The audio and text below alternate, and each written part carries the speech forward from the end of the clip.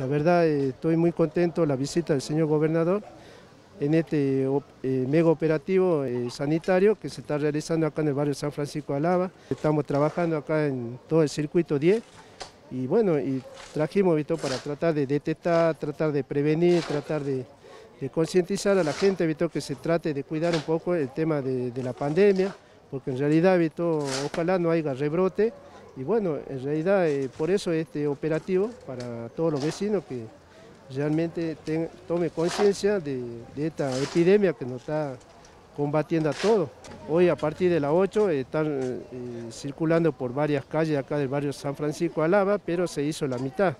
Y va a haber otro, otro, otra semana más para ver qué día eh,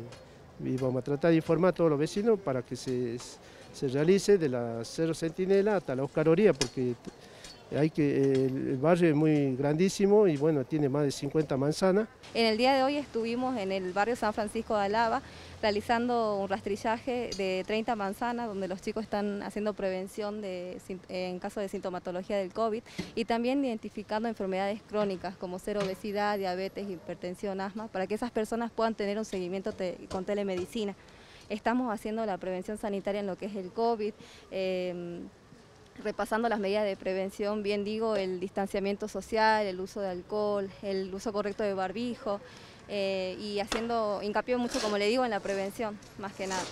Eso es el trabajo que estamos realizando y bueno, los chicos se encuentran visitando casa por casa, realizando el triage a las diferentes personas.